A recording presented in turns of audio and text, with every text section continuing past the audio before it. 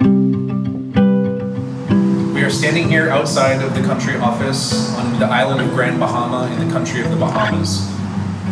For COVID-19 prevention, we are primarily working in the WASH, the water sanitation and hygiene sector, because the hurricane actually inundated the water table on these islands and made most of the water from the tap undrinkable.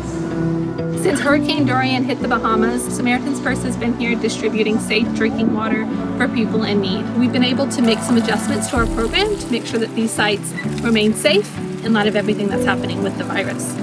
Some of these prevention measures that we've been able to add include disinfecting tap stands regularly, it includes hand washing stations, and it also includes adding 34 wash monitors to our team. So these are people who are at these sites all day, every day, helping people to collect water and helping educate people about the virus. And they're here to provide encouragement and to care for people as they're coming to collect water in these worrying times. Ministering in Jesus' name is the core of what we do, as Samaritan's Purse. It's incredibly important that Jesus be at the core and the center of everything. I think a time like this, we really need counsel and We need direction towards God.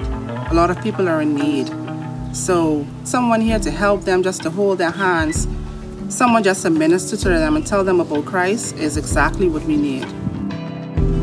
It has been a difficult time to be a resident of Grand Bahama, Abaco, and some of the Cays. We would appreciate prayer for Samaritan's Purse, for all of our staff, for all of the work that we're doing here, and most especially prayer for the Bahamian people, that they would be able to know the love and the care and the hope that is brought by Jesus Christ.